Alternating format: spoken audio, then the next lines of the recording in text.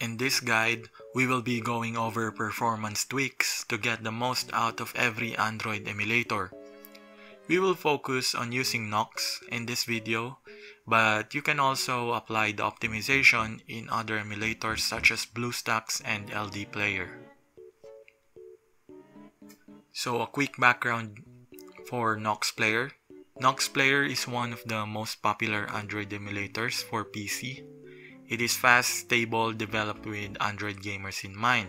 Unfortunately, no emulator is flawless, and while Nox Player can be very stable and efficient, there are numbers of things to do to make it work much better when playing your favorite Android games on PC. And why I pick Nox is because this is the official emulator for Ragnarok M Eternal Love. So first of all, make sure you have the latest Nox or whatever Android emulator you are using. So alright, here's the thing about emulation. It is especially CPU and RAM dependent. Video RAM not so much, Modern smartphones are being equipped with octa-core CPUs and between 4 to 6 gig of RAM on average. And while personal computers can be much more powerful, you need to give a little headroom for the extra processing of emulation in itself. So back to Ragnarok M Eternal Love episode 6. After the update, the emulator lags and stutters during gameplay as you can see in the video.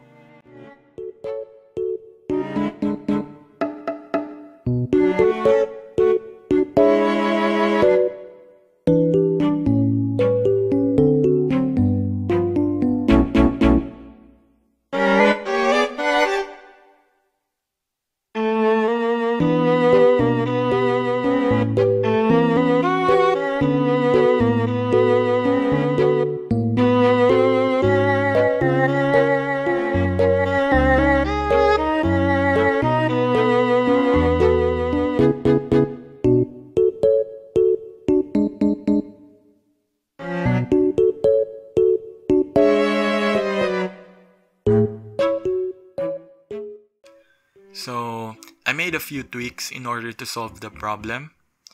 So before we start this, this is the setup I am using. So latest Nox version 6.3.1.0 Android 4.4.2 I am lazy to recopy my game to a newer Android version but I recommend use the Android 5 or 7 for this optimization or just completely copy mine.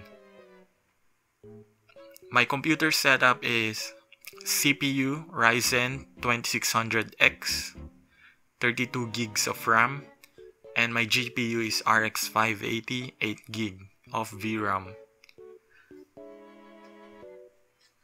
Okay, so fire up your emulator and go to settings. In Nox, go into Nox Player System Settings, Advanced Settings, Performance Settings. For single instance or single Nox app only, click the Custom tab and adjust the CPU and memory to what your PC is capable of. So typically, you want to allocate at least half of your computer's CPU and RAM resources to Nox Player. So for CPU cores and 4 gigs of RAM allocated to a single Nox Player should be good enough if you have at least 8 GB of RAM and close all other programs while running Nox Player to lessen the resource consumption in your computer. For multiple instance users, example is 2 to 4 Nox opened at the same time or other emulators. Try to use the list or distribute the CPU cores and RAM and make sure to close everything aside from Nox again to lessen the resource consumption. This one is basically trial and error because our computers have different specs and the games we play might need higher or lower resources. But for the game we are featuring Ragnarok M Eternal Love. Here is the settings for multiple instance users if you are on low end setup, please make sure to number one is turn off the sound in Nox settings because it will lessen the CPU consumption. Then number two is choose 720p or 540p resolution if you are just grinding AFK. So number three, frame settings to 20 to 30 FPS. Actually 20 FPS is playable. If you are just grinding AFK, you can do that. Number 4 is use 1 to 2 cores of CPU. So for the Ragnarok Mobile episode 6, 2 cores is recommended.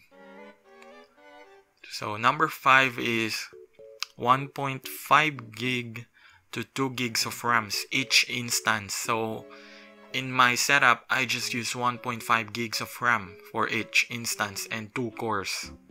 So in the past, in episode 4, we just use 1 core, then 2 gig of RAMs.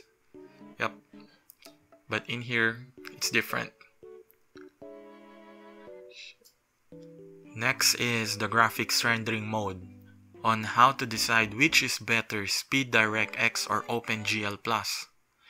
So DirectX mode should be faster, especially if you are using an AMD processor instead of Intel, but it uses more RAM than OpenGL. So if you are using Intel processor, use the OpenGL mode.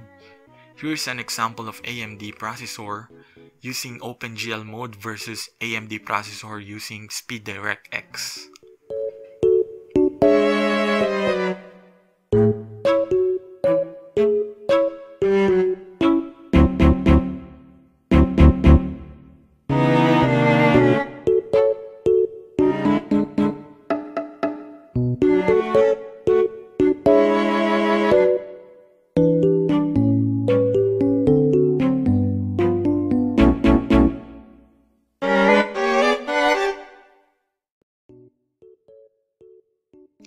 And sometimes this is the only reason why you are lagging in your emulator, which is not picking the right graphics rendering mode for your system.